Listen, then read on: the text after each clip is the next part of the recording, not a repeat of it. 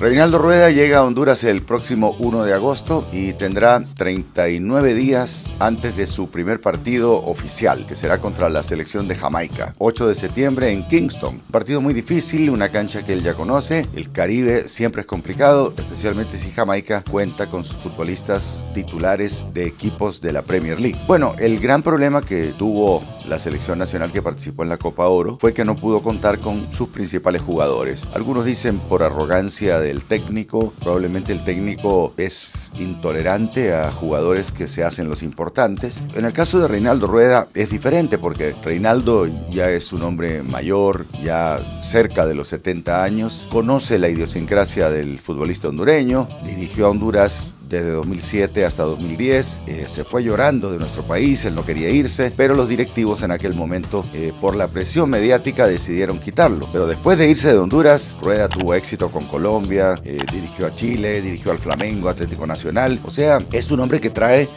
mucho más mérito ahora que el que tenía cuando empezó a dirigir a Honduras, que prácticamente era incipiente. Yo pienso que Rueda va a dar resultado en Honduras. Por lo menos es la mejor alternativa que tiene Honduras si hablamos de un coach, porque adicionalmente a un coach, que eso es rueda, que va a poder hablarle a los muchachos jóvenes para que puedan rendir al máximo y que se sentirán motivados por ser dirigidos por un técnico reconocido mundialmente. O sea que uno habla de Reinaldo Rueda hoy y está hablando de alguien conocido. Eso hará que los futbolistas rindan bastante más de lo que pudieron rendir con eh, el joven técnico, eh, Diego Vázquez, que no es un mal técnico, pero que todavía no tiene la madurez eh, internacional que se logra con el tiempo y que la tiene Reinaldo Rueda. Pero eh, no quiere decir esto que vamos a lograr buenos resultados. Los partidos que tiene Surinam dentro de la hexagonal son súper fáciles. En cambio, Honduras tiene un partido contra Jamaica súper complicado. Y clasifican solo dos del hexagonal. Habrá que ver un buen resultado en Jamaica, un empate, por ejemplo, eh, aliviaría